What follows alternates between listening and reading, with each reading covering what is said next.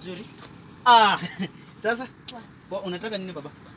Uko hapa na nyanya, nyanya ni 50 bob moja. Ha? Hapana, hii ndio pesa? Unajua Nairobi tutakuuzia 10 bob. Alafu unajua vile nilitumia mafuta kuleta hapa, unaona? So ni 50 bob. Sasa unaona. So utachukua ama uchukue? Eh. Machungwa. Machungwa sasa machungwa moja ni 600.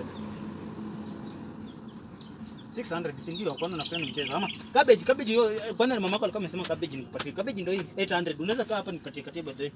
Unaweza kupatia katia, lakini kisu haiko karibu. Ah ah, hii si kisu ya cabbage.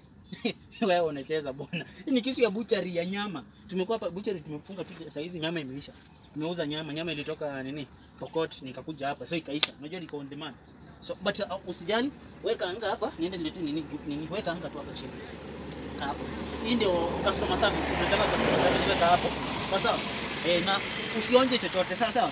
Omena ndio hizi hapo usionje chumvi ndio hapa. Hata usilambe chumvi. Sawa?